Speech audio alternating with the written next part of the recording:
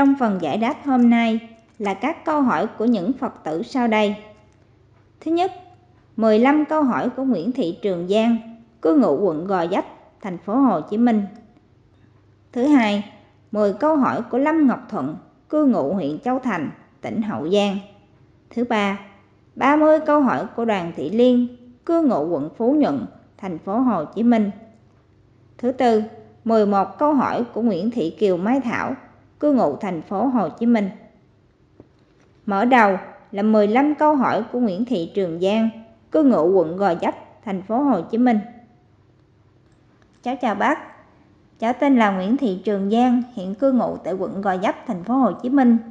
Sau khi đọc xong bộ sách Thiền Tông và nghe giải đáp của bác trên mạng thiền tông.com, cháu có những thắc mắc như sau. Kính mong bác giải đáp giúp cháu. Cháu cảm ơn bác. Câu 1 Thiền sư Huệ Hải nói, bóng trăng dưới đầm nước, mặt tình mà ông mò bắt. Ý nghĩa câu này như thế nào, thưa bác? Bác Nguyễn Nhân trả lời câu 1. Thiền sư Huệ Hải nói, bóng trăng dưới đầm nước, mặt tình mà ông mò bắt. Ý nghĩa câu này như sau. Đạo Phật là đạo trùm khắp, mặt tình mà tìm hiểu.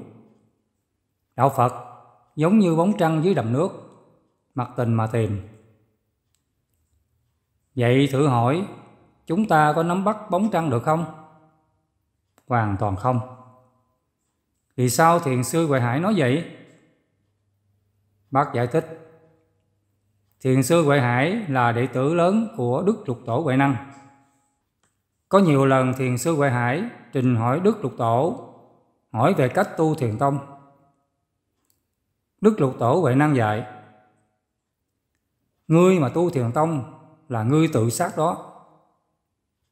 Thiền sư Huệ Hải hỏi Đức Lục Tổ Huệ Năng tiếp Kính thưa Tổ, Nếu tu thiền tông là tự sát, Cớ sao Đức Phật bí mật Truyền pháp môn thiền tông này cho hậu thế để làm gì? Kính thưa Tổ Đức Lục Tổ Huệ Năng trả lời, Thiền tông Đức Phật dạy Người trở về Phật giới, Chứ không phải dạy cho người tu Thiền sư Huệ Hải hỏi Đức Lục Tổ Huệ Năng tiếp.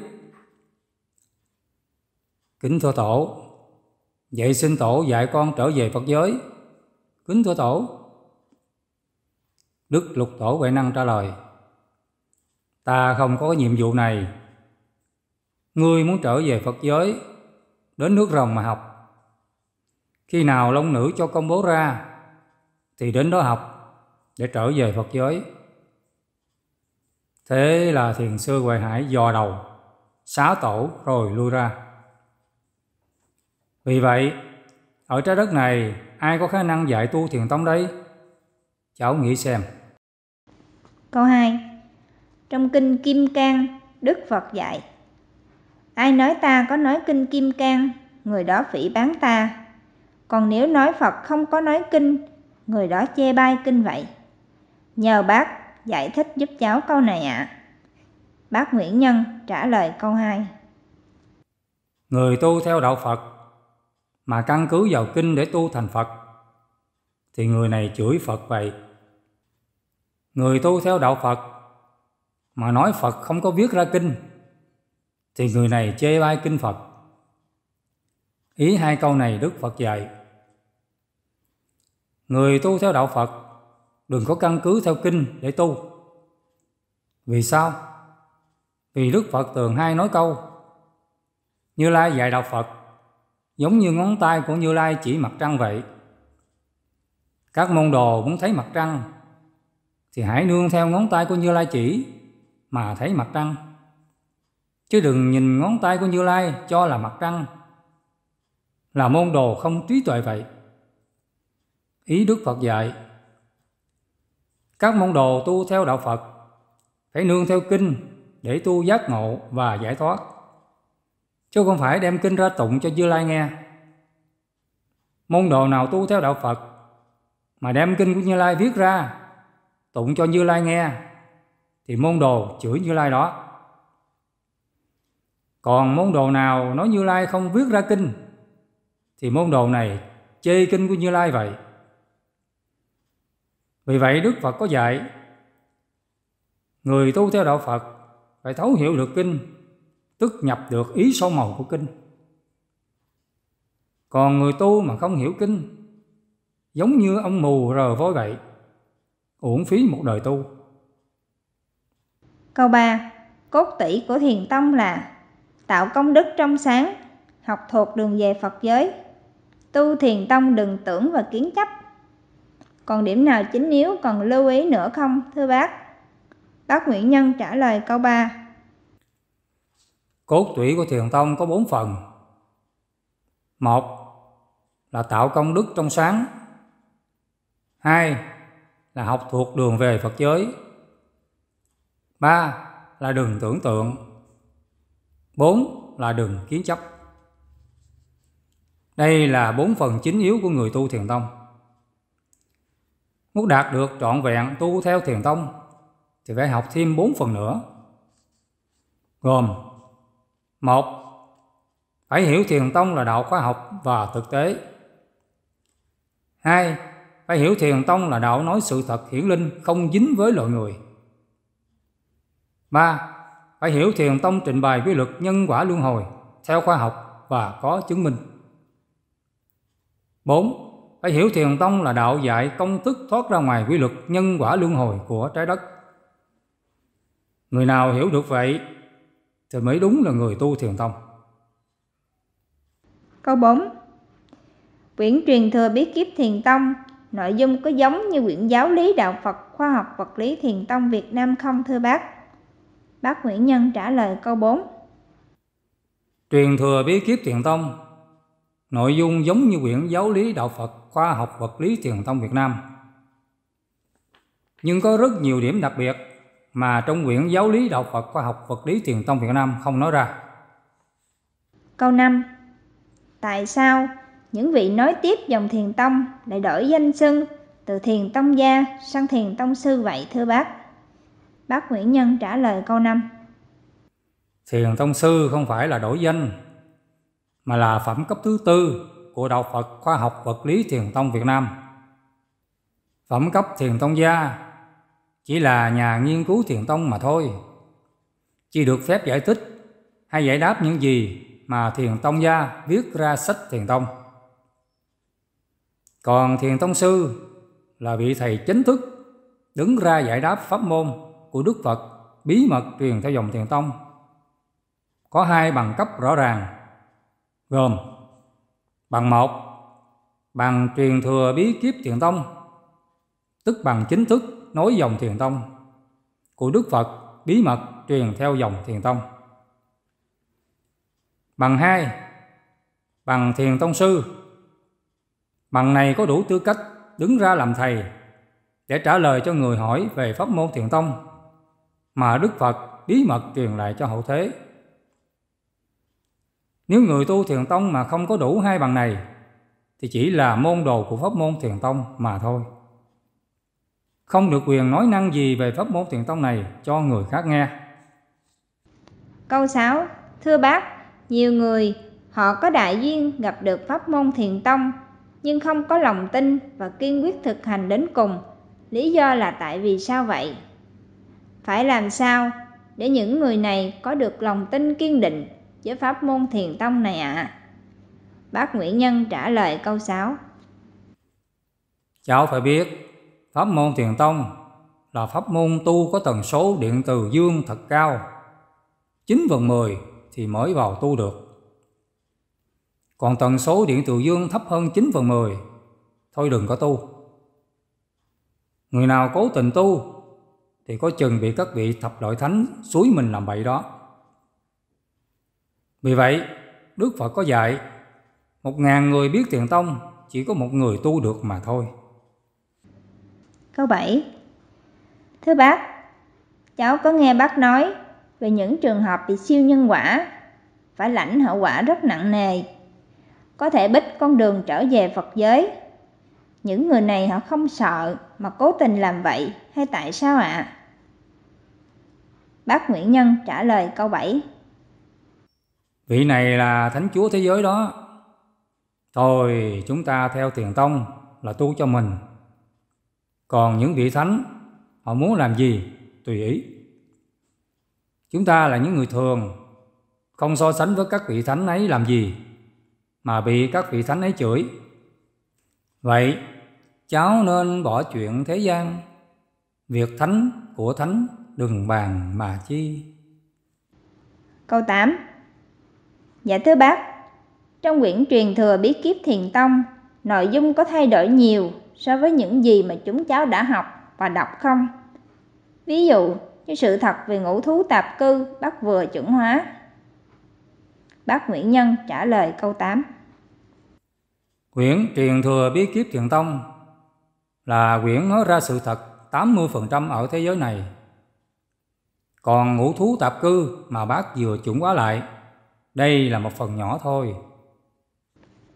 Câu 9 Quyển sách truyền thừa bí kíp thiền tông bác sẽ phổ biến rộng rãi cho những người tu theo pháp môn thiền tông biết để chuẩn hóa lại kiến thức. Hay bác chỉ truyền thừa lại cho những vị có nhiệm vụ nói tiếp mạch nguồn thiền tông thưa bác. Bác Nguyễn Nhân trả lời câu chính. Quyển truyền thừa bí kíp thiền tông, bác chỉ cấp phát cho người được truyền thừa bí kíp thiền tông mà thôi, không cấp phát cho người bên ngoài. Khi nhận quyển này, phải ký tên vào bản cam kết là không cho ai biết. Nếu không thì bị nhân quả lớn lắm. Câu 10 Hiện nay, trí óc loài người quá thông minh nên mới dẫn đến những hiện tượng thiên tai, bệnh tật nguy hiểm, vân vân. Như gần đây, có phải là dấu hiệu cảnh báo pháp môn thiền tông sắp chuyển qua giai đoạn hoại, diệt, không vậy thưa bác? Bác Nguyễn Nhân trả lời câu 10. Đức Phật dạy, khi Như Lai trở về Phật giới, thì trái đất này còn tồn tại được 3.000 năm. 500 năm sau cùng chia ra làm năm thời kỳ nhỏ như sau. Một, Mạc Thượng Pháp từ năm 2500 đến năm 2600. Thế giới bắt đầu đi vào ô nhiễm. 2. Mạc Trung Pháp từ năm 2600 đến năm 2700. Thế giới đi vào ô nhiễm nặng hơn. 3. Mạc Hạ Pháp từ năm 2700 đến năm 2800. 4. Mạc Mạc Pháp từ năm 2800 đến năm 2900. 5. Mạc Màng Pháp từ năm 2900 đến năm 3000 thì pháp môn thiền tông không còn ai tu nữa. Có nghĩa là pháp môn thiền tông học này không còn tồn tại quá 500 năm. Câu 11 Dạ thưa bác, người tu theo pháp môn thiền tông thì hiện tại mình cứ sống cuộc sống bình thường, lo tạo công đức và học thuộc đường về Phật giới. Trước ba ngày khi mình mất, vị thần sẽ báo trước cho mình biết. Vậy, trong ba ngày trước khi mất, hành trang mình cần chuẩn bị những gì để đường về Phật giới được chuẩn xác, rõ ràng nhất ạ? À? Bác Nguyễn Nhân trả lời câu 11. Cháu tu thiền tông đừng có lo xa như vậy. Cứ lo làm ăn. Có gia đình lo cho gia đình. Có tổ quốc lo cho tổ quốc. Có dịp thì tạo công đức trong sáng. Không cần học đường về Phật giới. Chỉ cần khi rảnh nghe giải đáp thiền tông trên mạng là nhớ rồi, không cần học. Đừng tưởng tượng gì hết. Khi nào về, sách công đức về. Người tu thiền tông như vậy là đủ. Câu 12 Dạ thưa bác, để trở thành một người tu chân chính theo đúng lời của Đức Phật dạy thì mình phải tu như thế nào? Bác Nguyễn Nhân trả lời câu 12 Cháu tu chân chính là tu cái gì? Cháu dụng công tu hành, có chứng, có đắc ở thế giới này. Nó có danh từ người tu chân chính Người tu chân chính này không giải thoát được Mà chỉ đi hưởng phước mà thôi Còn cháu theo thiền tông không tu gì cả. Hãy nghe 10 câu kệ sau đây. Thiền tông cứ vậy mà tùy duyên Đói đến thì ăn mệt ngủ liền. Trong người có Phật tánh không tìm kiếm, Ai chửi ai mắng không não phiền. Lo tạo công đức chỉ biết riêng, thân người tứ đại là gian khổ. Thân điện từ quan không khổ sầu, thân phật phật giới không bể dâu thiền tông phật dạy có một câu, buông, dừng, dứt hết đầu trầm luân câu 13 thưa bác, pháp môn thiền tông là quá tuyệt quý và mang rất nhiều lợi ích, không chỉ riêng cho đất nước Việt Nam, mà còn cho các nước khác trên thế giới. Vậy làm sao để pháp môn thiền tông được trụ càng lâu càng tốt trên trái đất này? Bác Nguyễn Nhân trả lời câu 13. Làm sao thiền tông trụ được để cháu? Thế giới vật chất phong ba, thiền tông nói thật khó mà sống yên. Thiền tông không nói não phiền, mà nói giải thoát cho riêng người cần. Thiền tông là pháp xóa dần, linh thiên cầu lại hết chân đất này. Thiền tông ra sức dựng xây, quê hương đất nước đẹp xây quê nhà. Thiền tông chân thật nói ra, để người dân Việt không xa mê lầm. Câu 14 Dạ thưa bác, những thế hệ trẻ sau này khoảng 50, 60 năm sau, trí tuệ họ càng văn minh hơn bây giờ. Vậy việc họ tu học thiền tông có dễ dàng hơn không ạ? À? Bác Nguyễn Nhân trả lời câu 14. Thôi cháu đừng đoán tương lai. Thiền tông chỉ biết ngày nay, ngày mai, ngày mốt đoán rầy làm chi. Thế giới vật chất sân si, mặt tình thế sự, nhớ chi mà bàn. Câu 15 Dạ thưa bác, tinh hoa của đạo Phật khoa học vật lý thiền tông là gì ạ? À? Cháu cảm ơn bác rất nhiều. Bác Nguyễn Nhân trả lời câu 15 tin qua đạo Phật là nói ra những gì chân thật ở trái đất này, mà Đức Phật gọi là đạo Phật khoa học vật lý thiền tông. Có nghĩa là đạo Phật khoa học vật lý thiền tông không phải là đạo linh thiêng Đạo Phật khoa học vật lý thiền tông không phải là đạo quyền bí. Đạo Phật khoa học vật lý thiền tông không phải là đạo cầu sinh.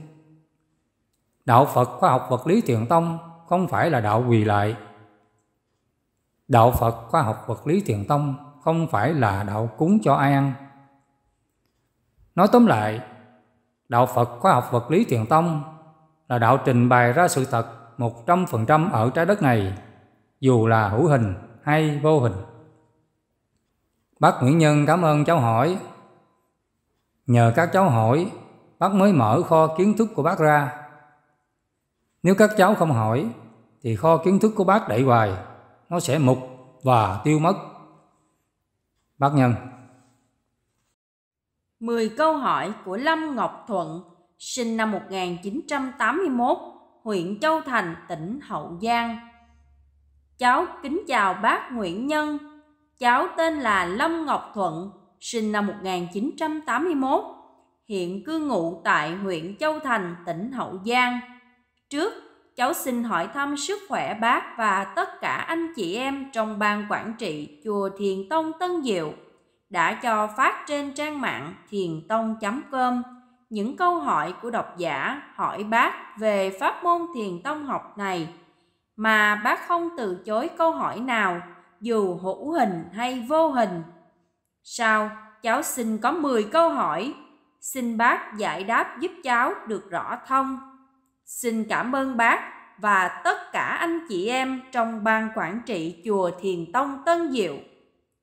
Câu hỏi 1 của cháu Lâm Ngọc Thuận Mẹ cháu sinh năm 1950, nấu ăn hàng ngày hay kêu ba mẹ của bà đã mất về ăn. Xin hỏi, công đức của mẹ cháu có bị bôi đen không thưa bác? Khi gần mất thân, công đức có sáng lại để thấy đường về Phật giới không thưa bác? Bác Nguyễn Nhân trả lời câu hỏi một. Câu hỏi một này của cháu tuy ngắn mà có đến ba ý. Ý một, mẹ cháu hàng ngày cúng cho ông bà cháu ăn Ý hai, công đức mẹ cháu có bị bôi đen không? Ý ba, khi mẹ cháu mất, công đức có sáng lại để thấy đường trở về Phật giới hay không? Bác sẽ trả lời theo ba ý này. Ý một, người tu theo đạo Phật có học vật lý thiền tông Việt Nam thì không cúng ai hết. Vì sao? Vì ai cũng vậy, chết là phải đi theo nhân quả, còn không theo nhân quả thì phải vào thập loại thánh sống. Nếu mẹ cháu cúng là cúng cho thập đội thánh ăn, tức mẹ cháu muốn làm bạn với thập đội thánh đó. Ý hai, mẹ cháu cúng nếu có công đức thì bị bôi đen liền. Ý ba, khi mẹ cháu mất, công đức có sáng lại hay không là do mẹ cháu chứ không ai biết được. Tất cả những người trước khi mất thì phải có công đức sáng, thì vị thần quản lý mới giao cho ban nghi lễ, thần thánh tiên, tiễn hay dặn dò đường trở về Phật giới. Còn không có công đức thì vị thần quản lý bàn giao cho ban thần thực thi nhân quả, đi nơi nào mẹ cháu tạo nghiệp. Câu hỏi 2 của cháu Lâm Ngọc Thuận Ba mẹ cháu sinh năm 1950 Có thờ ông Độ Mạng, bà Độ Mạng và đốt nhang mỗi ngày Vậy công đức của ba mẹ cháu có bị bôi đen không thưa bác? Bác Nguyễn Nhân trả lời câu hỏi 2 Ông bà Độ Mạng là ai? Đây là đạo tưởng của đạo lão bên Trung Quốc ngày xưa. Đến thời văn minh này không còn phù hợp nữa. Tu theo đạo Phật khoa học, thì những gì tưởng tượng nên bỏ đi. Đừng làm chuyện mất công để người trí thức hoặc chê cười mình là người mê tín. Mê tín, dù có công đức bao nhiêu, cũng bị bôi đen hết.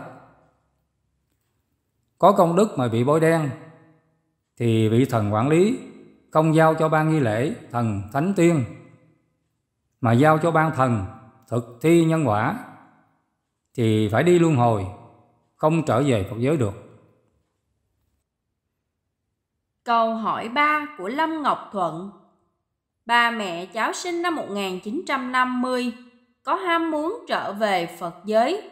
Cháu có hỏi ba mẹ có ham muốn trở về Phật giới không? Con cho ba mẹ chút tiền để tạo công đức cho ba mẹ và ba mẹ cháu đồng ý. Như vậy, ba mẹ cháu có công đức không, thưa bác? Cháu có cảm nhận rằng ba mẹ cháu có công đức vì ban đầu ba mẹ cháu đọc bài dặn dò đường về Phật giới hoặc nghe máy thiền tông hiệu ích. Dần dần, ba mẹ cháu đã hiểu được nhiều hơn. Bác Nguyễn Nhân trả lời câu hỏi 3. Ba mẹ cháu nghe thiền tông mà thích thì tạo công đức rất dễ. Vì vậy, nếu ba mẹ cháu chịu khó giúp người xung quanh hiểu pháp môn thiền tông học này là có công đức liền. Câu hỏi 4 của cháu Lâm Ngọc Thuận Dạ, cháu hiểu. Mình nghe thật nhiều lời giải đáp thiền tông để mình càng hiểu rõ quy luật vật lý âm dương của thế giới vật lý này để mình không bị lầm cũng như không bị thoái lui, có phải không, thưa bác? Bác Nguyễn Nhân trả lời câu hỏi 4. Cháu nghe giải đáp thiền tông cho thật nhiều. Thì cháu rất rõ quy luật vật lý âm dương. Cháu không cần làm bất cứ thứ gì. Cháu không bỏ tu theo thiền tông. Đây là lối tu thiền tông rất đúng vậy. Cháu cố gắng nghe những bài giải đáp thiền tông trên mạng để hiểu rõ thiền tông không bị tin sai cháu nên khuyến khích ba mẹ nghe nhiều câu giải đáp thiền tông để dần dần trở thành những người tu theo đạo Phật khoa học vật lý thiền tông không còn làm những chuyện mê tín nữa. Dù có mê tín đến cỡ nào, mà chịu nghe giải đáp thiền tông thì chắc chắn 100% không mê tín. Dù ai có cho tiền bảo mê tín thì ba mẹ cháu cũng không làm chuyện mê tín. Câu hỏi năm của cháu Lâm Ngọc Thuận. Cháu hiểu mình làm việc gì mà nổi sân, buồn, giận là mình biết điện từ âm đang kéo mình hoặc thích đi làm từ thiện, bố thí thì biết đó là điện từ dương đang kéo mình. Khi mình tu thiền tông là mình sử dụng tánh biết của mình tùy theo trường hợp mà làm, không theo thiện hay ác, có phải vậy không thưa bác? Bác Nguyễn Nhân trả lời câu hỏi năm. Câu hỏi này cháu hỏi không được rõ. Nhưng bác hiểu nguyên do mà cháu muốn làm từ thiện hay làm chuyện gì khác thì cháu phải hiểu căn bản như sau. Cháu muốn làm từ thiện hay làm gì đều do cái tưởng của cháu nên cháu mới làm. Cháu muốn làm từ thiện là do tánh thánh của cháu giúp cháu làm. Khi cháu làm xong, thì nghiệp phước thiện này được lưu vào tàn thức bên điện từ dương, nằm bên tay phải của cháu. Cháu muốn làm việc không thiện là do thập đội thánh suối cháu làm. Khi cháu làm xong việc không thiện, thì nghiệp không thiện này được lưu vào tàn thức bên điện từ âm, nằm bên tay trái của cháu. Cháu muốn tạo công đức là do tánh thánh và tánh tiên giúp cháu làm. Khi cháu tạo được công đức rồi, thì số công đức này được lưu vào như lai tàng, là nơi chứa tánh Phật của cháu. Kho này nó nằm ở trung tâm bộ não của cháu, cấu tạo bằng điện từ quang. Cháu tu thiền tông phải hiểu ba căn bản này thì tu thiền tông mới không bị sai. Câu hỏi 6 của Lâm Ngọc Thuận Trong bài dặn dò đường trở về Phật giới, các chư Phật ngự ở tầng Bình Lưu cách trái đất 40 đến 45 km. Cho cháu hỏi, chỗ tầng Bình Lưu này là bên ngoài trái đất hay còn nằm trong trái đất? Đường kính của trái đất bao nhiêu thưa bác? Bác Nguyễn Nhân trả lời câu hỏi 6. Tầng bình lưu nằm bên ngoài trái đất. Trái đất có 6 bầu khí quyển. Tầng bình lưu nó nằm bầu thứ ba của trái đất, là nơi chứa không khí tĩnh, là nơi để một kim thân Phật từ Phật giới phân thân vào ngự để vào trái đất. Hai, các vị Bồ Tát từ các cõi trời hai nước cực lạc xuống dừng chân để vào trái đất. Ba, các vị Chúa Trời từ các cõi trời xuống dừng chân để vào trái đất. Đường vòng tròn của trái đất là 40.075 km. Còn đường kính của trái đất là 12.742 km. Câu hỏi 7 của cháu Lâm Ngọc Thuận. Dạ, cho cháu hỏi là tầng bình lưu cách ống trung tâm vận hành luân hồi bao xa, thưa bác? Bác Nguyễn Nhân trả lời câu hỏi 7. Câu hỏi của cháu chưa nắm vững về trung tâm vận hành luân hồi của tam giới. Trung tâm vận hành luân hồi của tam giới là ống trục quay của tam giới. Ống này không có quay nên gọi là trung tâm vận hành luân hồi của tam giới. Trái đất nó quay theo bầu hoàng đạo một của tam giới. Đúng 365 ngày, trái đất mới quay vào trung tâm vận hành luân hồi của tam giới 24 giờ. Trái đất mới ra khỏi trung tâm vận hành luân hồi của tam giới. Cháu hỏi trái đất cách xa trung tâm vận hành luân hồi của tam giới là bao nhiêu km? Là cháu hỏi sai. Nên lấy tấm bản đồ tam giới ra xem lại. Câu hỏi 8 của cháu Lâm Ngọc Thuận. Câu, tâm bình thường là đúng. Theo con hiểu là khi mình hiểu rõ quy luật vật lý âm dương, nhân quả luân hồi nơi trái đất này, thì khi ai hù dọa mình hay suối mình làm bậy, về hữu hình hay vô hình, thì mình vẫn giữ được tâm bình thường. Do mình đã biết rõ quy luật rồi, nên mình không theo. Có phải vậy không, thưa bác? Bác nguyễn nhân trả lời câu hỏi 8 trong kinh thủ lăng nghiêm, đức phật có dạy câu, tâm bình thường là đạo. Ý đức phật cũng dạy người tu bất cứ thiền gì, cũng đừng suy nghĩ là mình tu đúng. Nếu người tu mà suy nghĩ, thì thập đội thánh dẫn mình đi. Thì phải đi theo thập đội thánh, nên tu phải sai. Vì thế giới này là thế giới cuốn hút theo dòng điện từ âm dương. Hãy suy nghĩ hay hành động là bị nhân quả của trái đất kéo đi thì phải đi theo nhân quả luân hồi của trái đất. Loài suối mình đi theo nhân quả luân hồi là ai? Là thập đội thánh đó. Vì vậy, đức phật có dạy, cốt tủy thiền tông như sau. Một, tu là bị nhân quả. Hai, tâm bình thường là không bị nhân quả. Ba, muốn trở về phật giới thì tạo công đức mang về phật giới.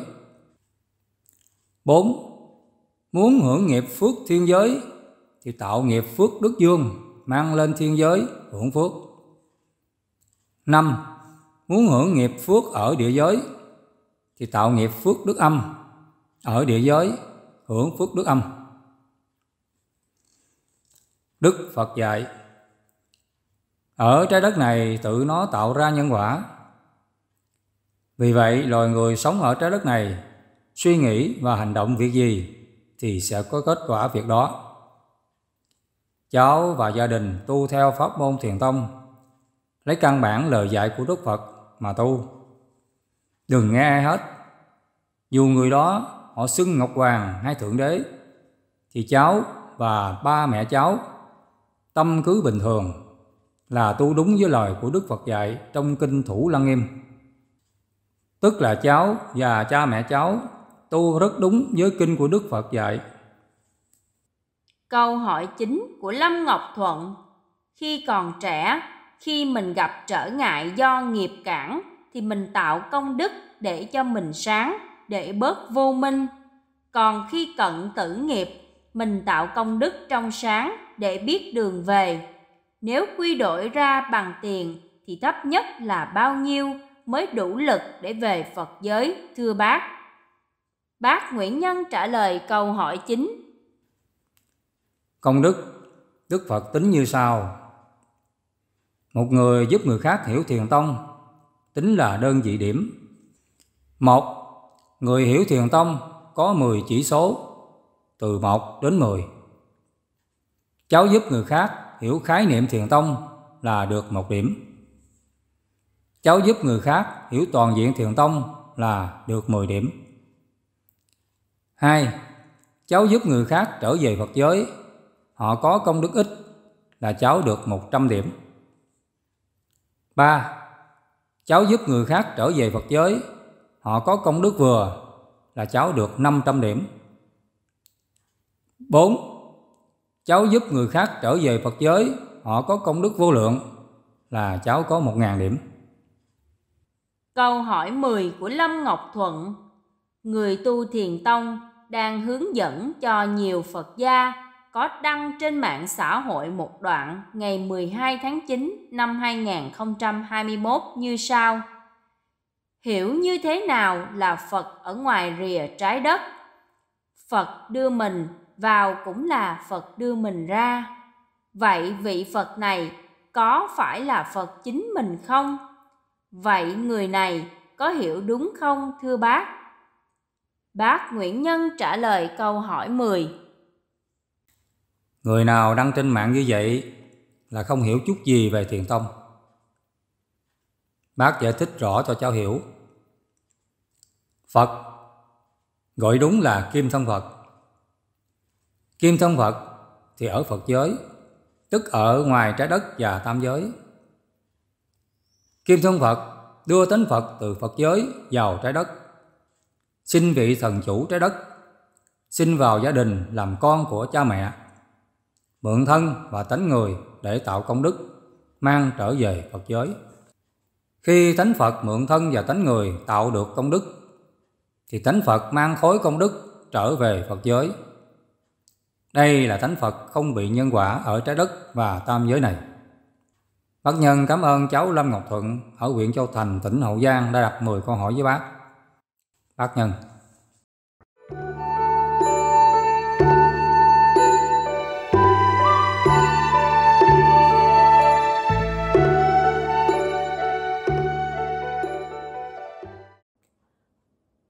ba mươi câu hỏi của đoàn thị liên ở Phú Nhuận, thành phố Hồ Chí Minh. Kính chào bác Nguyễn Nhân. Cháu tên là Đoàn Thị Liên, hiện đang cư ngụ tại quận Phú Nhuận, thành phố Hồ Chí Minh. Hôm nay, cháu xin phép được hỏi bác một số câu hỏi về Thiền Tông và Kinh Đại Bác Niết Bàn. Xin bác trả lời cho cháu. Câu hỏi 1 của Đoàn Thị Liên Thưa bác, bài 24 của Đức Phật dạy tổ chức lãnh đạo của mỗi quốc gia theo thời kỳ đồ đồng là tổ chức như thế nào, thưa bác? Bác Nguyễn Nhân trả lời câu hỏi một của đoàn thị liên. Tổ chức lãnh đạo của mỗi quốc gia theo thời kỳ gồm, một, Thời kỳ bộ lạc, do trưởng bộ lạc lãnh đạo bộ lạc. hai, Thời kỳ vua, do vua lãnh đạo quốc gia. 3. Thời kỳ tư bản do tư bản lãnh đạo quốc gia. 4. Thời kỳ xã hội chủ nghĩa do sĩ, nông, công, thương, binh lập ra bộ chính trị lãnh đạo quốc gia. Câu hỏi 2 của đoàn thị liên Thưa bác, tổ chức thời văn minh nguyên tử, điện tử là tổ chức như thế nào thưa bác? Bác Nguyễn Nhân trả lời câu hỏi 2 của đoàn thị liên. Tổ chức thời văn minh nguyên tử, điện tử là tổ chức phần nào cũng văn minh, nguyên tử và điện tử hết. Câu hỏi 3 của đoàn thị liên. Thưa bác, tổ chức quân sự của người văn minh, nguyên tử, điện tử là tổ chức như thế nào thưa bác? Bác Nguyễn Nhân trả lời câu hỏi 3 của đoàn thị liên. Tổ chức quân sự của người văn minh, nguyên tử, điện tử là tổ chức gì cũng bằng nguyên tử và điện tử hết. Câu hỏi 4 của đoàn thị liên. Thưa bác, giáo lý viết tiếp. Về tổ chức quân sự của mọi quốc gia phải tổ chức theo người văn minh, nguyên tử, điện tử, dẹp đi tổ chức quân sự người đầu đồng. Xin bác giải thích, tổ chức quân sự theo người đầu đồng là tổ chức như thế nào ạ? À? Bác Nguyễn Nhân trả lời câu hỏi 4 của đoàn thị liên. Phần này là của các quốc gia. Mình tu thiền tông chỉ biết thiền tông thôi. Chuyện quốc gia để các vị lãnh đạo quốc gia lo. Câu hỏi 5 của đoàn thị liên. Thưa bác, giáo lý viết tiếp. Về tổ chức đạo giáo của mỗi quốc gia phải tổ chức theo người văn minh, nguyên tử điện tử, dẹp đi tổ chức đạo giáo của người đầu đồng. Con xin được hỏi, tổ chức đạo giáo của mỗi quốc gia theo thời đầu đồng là tổ chức như thế nào ạ? À? Bác Nguyễn Nhân trả lời câu hỏi 5 của đoàn thị liên. Phần này thì cháu hỏi các vị phụ trách tôn giáo. Câu hỏi 6 của đoàn thị liên. Tổ chức đạo giáo của mỗi quốc gia theo thời người văn minh nguyên tử, điện tử là sao? Bác Nguyễn Nhân trả lời câu hỏi 6 của đoàn thị liên. Phần này cháu cũng hỏi các vị lãnh đạo tôn giáo. Câu hỏi 7 của đoàn thị liên. Giáo lý viết tiếp tổ chức dân sinh của mỗi quốc gia phải tổ chức theo người văn minh nguyên tử, điện tử, đừng tổ chức sống theo người đầu đồng. Con xin hỏi, tổ chức dân sinh của mỗi quốc gia như thế nào là theo người đầu đồng? Bác Nguyễn Nhân trả lời câu hỏi 7 của đoàn Thị Liên. Phần này cháu hỏi chính quyền, chứ bác biết gì mà hỏi bác. Câu hỏi 8 của đoàn Thị Liên. Tổ chức dân sinh của mọi quốc gia như thế nào là văn minh theo người nguyên tử, điện tử ạ? À? Bác Nguyễn Nhân trả lời câu hỏi 8 của đoàn Thị Liên.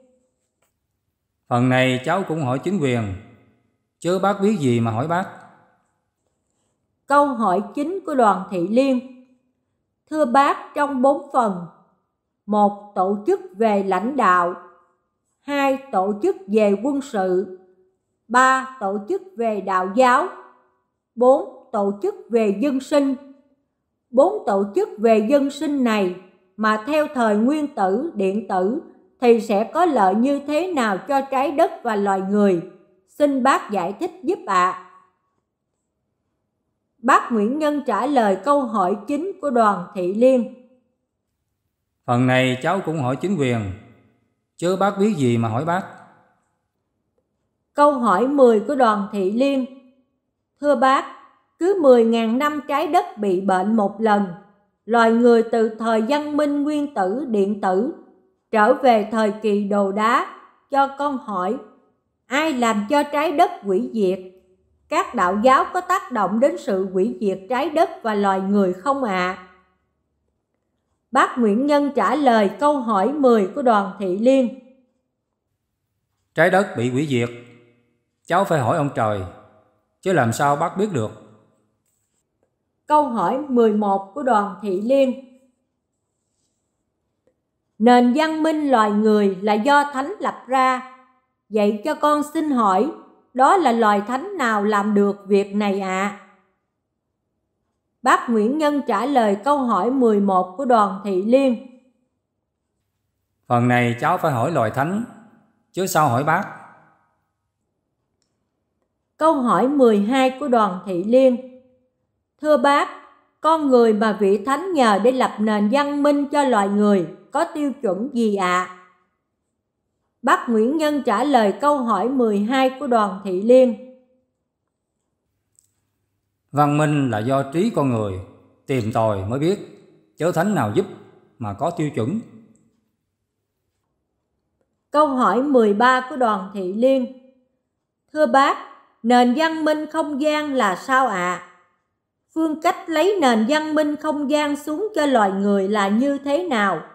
Bác có thể cho chúng con biết được không ạ? À? Bác Nguyễn Nhân trả lời câu hỏi 13 của đoàn Thị Liên. Nền văn minh không gian là do con người phát ra ở không gian, muốn sử dụng lấy xuống sử dụng. Câu hỏi 14 của đoàn Thị Liên. Trái đất cứ 10.000 năm bị bệnh một lần và 10 tỷ năm thì bị tan rã thành bụi không gian theo chu kỳ thành, trụ, hoại, diệt. Vậy ai điều khiển quy luật này ạ? À? Bác Nguyễn Nhân trả lời câu hỏi 14 của đoàn Thị Liên. Phần này bác không biết. Cháu hỏi những người có học thức cao, họ sẽ trả lời cho. Câu hỏi 15 của đoàn Thị Liên. Tại sao con người lại là công cụ cho thần thánh ạ? À? Bác Nguyễn Nhân trả lời câu hỏi 15 của đoàn Thị Liên. Con người nghe ai nói gì cũng làm, trong đó có thần thánh. Câu hỏi 16 của đoàn Thị Liên. Thưa bác, như bác đã từng nói, nền văn minh không gian loài người không thể nào lấy xuống được 100%. Vì khi loài người mới chỉ lấy được 60% thì trái đất đã bị hủy diệt rồi. Vậy con xin hỏi, 60% nền văn minh không gian mà loài người lấy xuống sau cùng là gì mà làm hủy diệt được trái đất ạ? À? Bác Nguyễn Nhân trả lời câu hỏi 16 của đoàn Thị Liên. Phần này trong giáo lý Đức Phật có nói, bác đọc giáo lý, bác nói lại vậy thôi. Câu hỏi 17 của đoàn Thị Liên Thưa bác, thành phần nào đưa được nền văn minh không gian này xuống để hủy diệt được trái đất ạ? À? Bác Nguyễn Nhân trả lời câu hỏi 17 của đoàn thị liên. Hủy diệt trái đất là do loài người. Chứ nền văn minh nó có làm gì mà hủy diệt trái đất?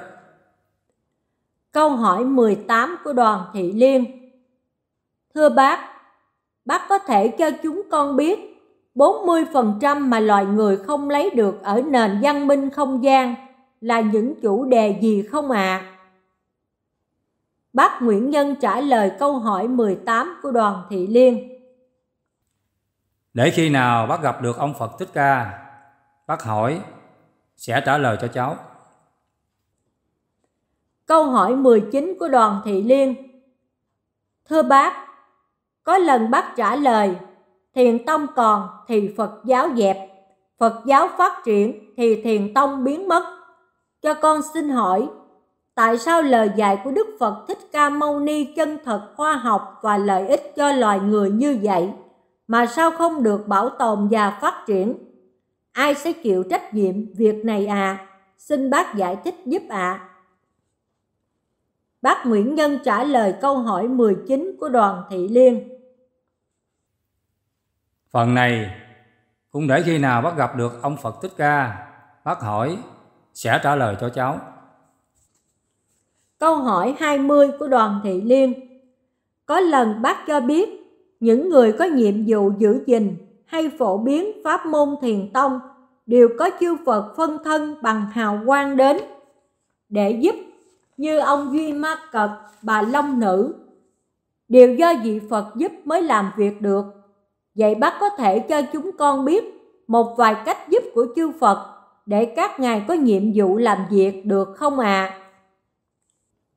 Bác Nguyễn Nhân trả lời câu hỏi 20 của đoàn Thị Liên.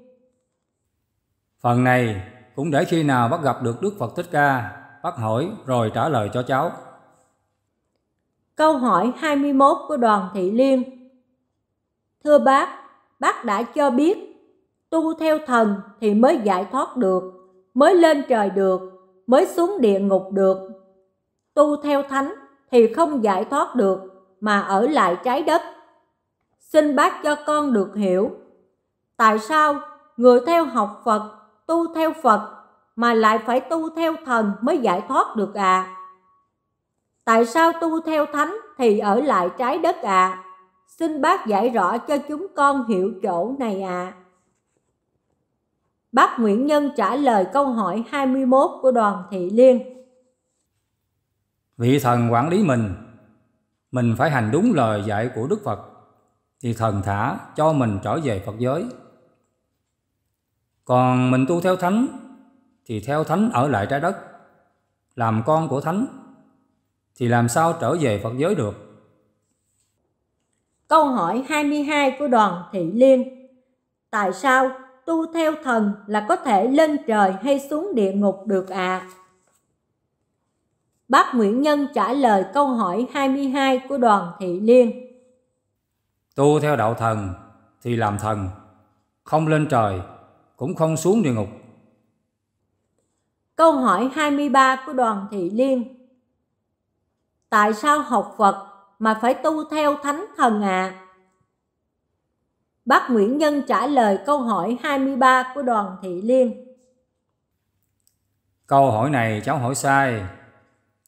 Muốn thành Phật thì phải nghe lời. Một, thần dạy. Hai, thánh dạy. Ba, tiên dạy thì mới thành Phật được. Câu hỏi 24 của đoàn thị liên. Thưa bác, tại sao lúc trước bác dạy Trái đất này có sáu loài sống chung, thần, người, ngạ quỷ, súc sanh, địa ngục và thực vật do thần thánh quản lý. Nay bác lại dạy, trái đất có năm loài sống chung, người, thần, thánh, tiên, ngạ quỷ. Sự xác định lại các loài sinh sống trên trái đất là ý nghĩa gì? Xin bác giải thích giúp ạ. À. Bác Nguyễn Nhân trả lời câu hỏi 24 của đoàn thị liên. Học thiền tông phải sử dụng trí tuệ sáng suốt để hiểu. Câu hỏi 25 của đoàn thị liên. Thưa bác, các vị thần tổ chức như thế nào mà quản lý được các loài ở trong trái đất này ạ? À? Bác Nguyễn Nhân trả lời câu hỏi 25 của đoàn thị liên. Phần này cháu phải đợi giáo lý xuất bản, cháu sẽ biết rõ. Câu hỏi 26 của đoàn thị liên.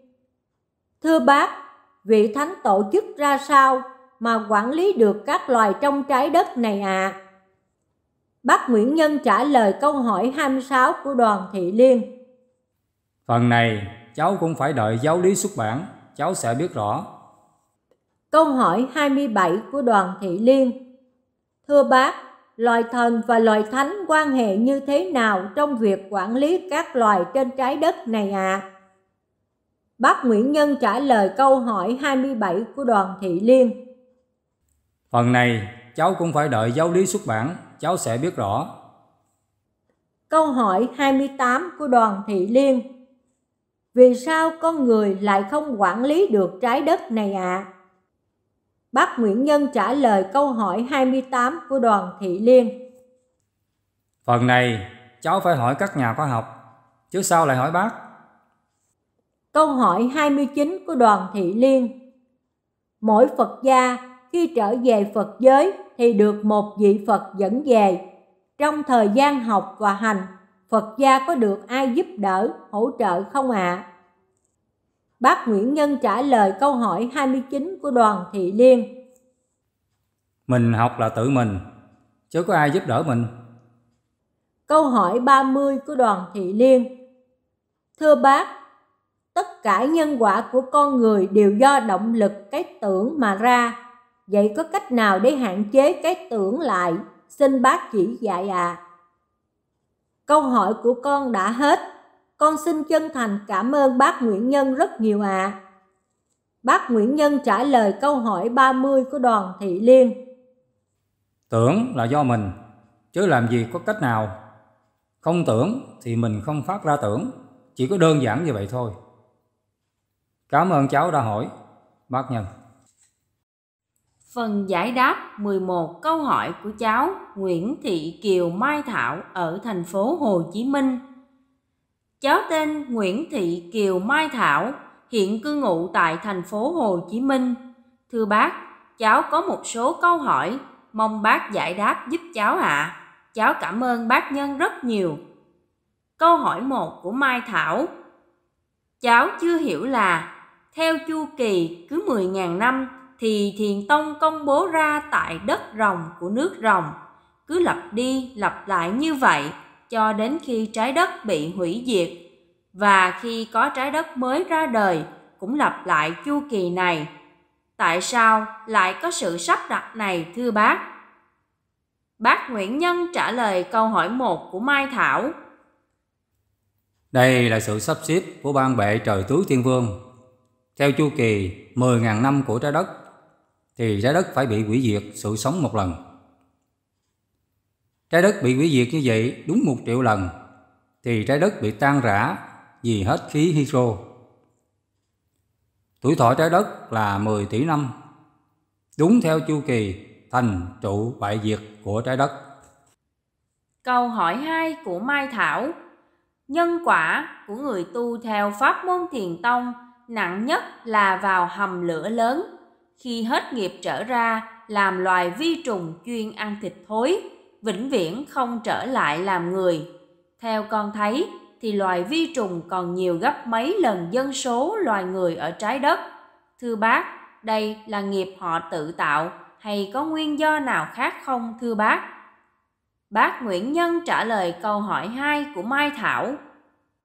Loài vi trùng không thể tính con số được con số cát của mấy tỷ tỷ tỷ sông Hằng cũng không bằng số con vi trùng.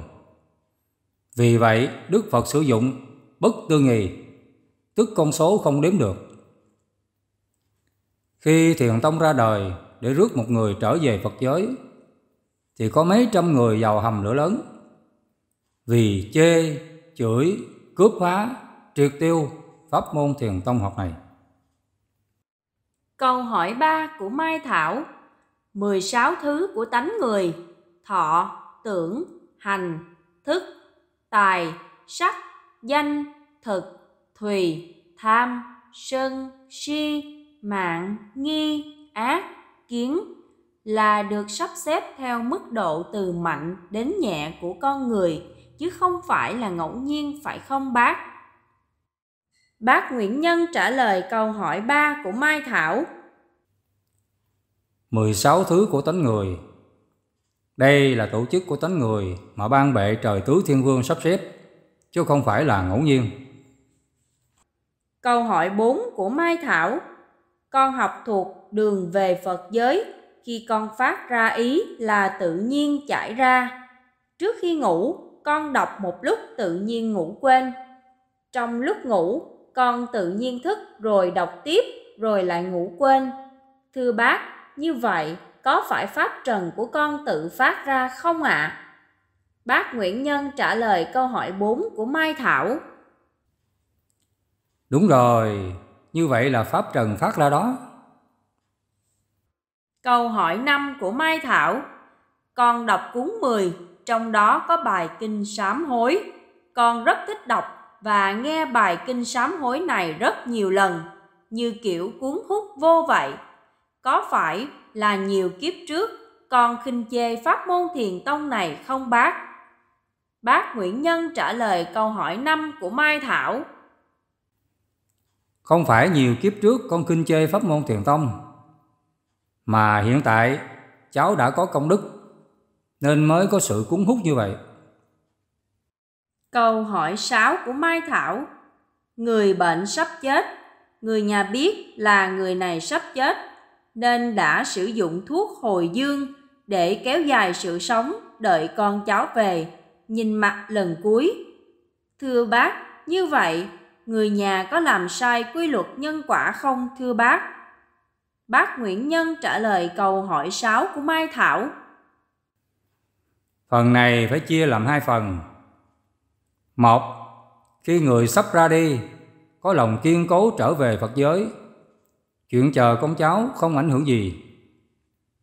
Hai, nếu chờ con cháu mà thương con cháu thì có đến 50% họ sẽ ở lại họ tập. Câu hỏi 7 của Mai Thảo người đến chùa Thiền Tông đã khinh chê pháp môn Thiền Tông và bị thần Kim Cang đánh ở bụng đỏ. Đi khám bác sĩ thì không ra bệnh. Khi đọc cuốn số 10 có bài kinh sám hối, người này đọc và đã khỏi.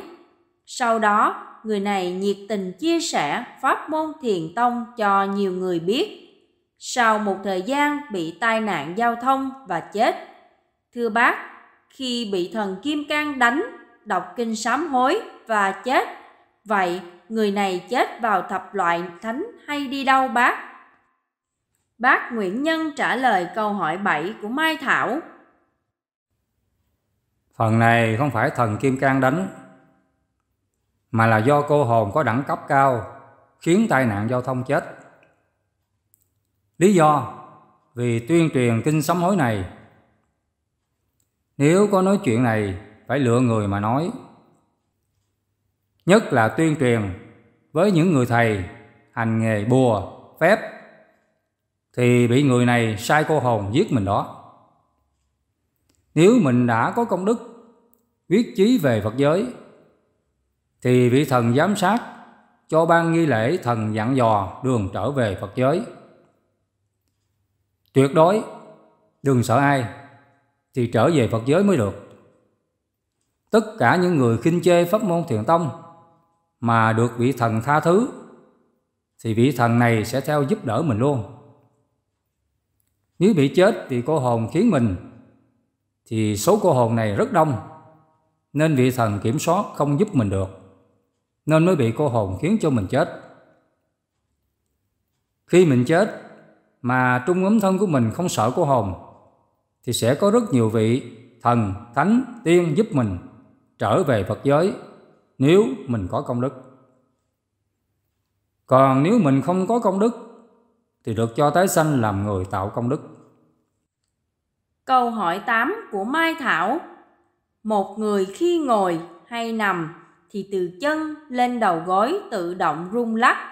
đôi lúc do ý mình phát ra, có lúc thì tự nhiên rung lắc mạnh, đến khi mình nhận thức được thì cho dừng lại. Con nghe nói, con người khi chết thoát ra từ lòng bàn chân là xuống địa ngục, thoát ra đầu gối là làm súc sinh thưa bác. Như vậy, hai chuyện này có liên quan gì với nhau không ạ? À? Bác Nguyễn Nhân trả lời câu hỏi 8 của Mai Thảo.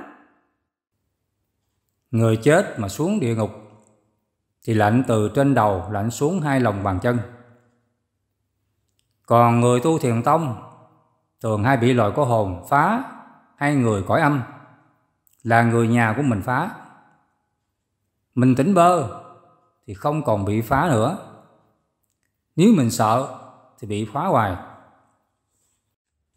Câu hỏi chính của Mai Thảo Trường hợp công đức và phước đức bằng nhau khi mình bị thử ba lần là thoát ra ngoài 5 km, tức thoát ra tầm kiểm soát của các vị thập thánh. Mình điều khiển trung ấm thân bay lên thêm 5 km nữa là thấy hoa tiêu, vị Phật. Trong lúc bay như vậy, trung ấm thân có bị giật mình dừng lại đột ngột không thưa bác? Nếu dừng lại đột ngột như vậy, thì có bị các vị thánh lừa nữa không thưa bác? Và trung ấm thân phải xử lý như thế nào? Bác Nguyễn Nhân trả lời câu hỏi chính của Mai Thảo. Trung ấm thân bay ra ngoài 5 km thì sẽ còn thấy các vị thần thôi. Các vị này vẫy tay chào mình, không có ai làm gì mà mình giật mình. Câu hỏi 10 của Mai Thảo Khi trung ấm thân vào trung tâm vận hành luân hồi của tam giới rồi, thì tới đây mình đã yên tâm về Phật giới chưa bác? Có bị lừa nữa không bác? Bác Nguyễn Nhân trả lời câu hỏi 10 của Mai Thảo. Trung ấm thân đã vào trung tâm vận hành luân hồi của tam giới là đi với vị Phật phân thân. Có cô hồn nào vào đây mà lừa mình? Cô hồn không qua được 6 km thì làm gì phá mình được? Câu hỏi 11 của Mai Thảo Trong đường về Phật giới, trường hợp 3 công đức ít, phước đức và ác đức nhiều. Khi ba thế lực thần, thánh, dòng họ giằng co, mình sử dụng nhất tự thiền, buông, thì tỷ lệ thành công về Phật giới được nhiều không thưa bác? Bác Nguyễn Nhân trả lời câu hỏi 11 của Mai Thảo. Phần này tùy theo lòng quyết chí của mình. Đến đây ngã rẽ ba đường. Một, muốn về Phật giới thì cương quyết lòng. Hai, muốn về họ tộc thì lòng xìu hơi. Ba, muốn lên cõi trời để chơi, thì theo lời thánh, chơi thêm một vòng. Cảm ơn cháu đã đặt câu hỏi. Bác Nhân.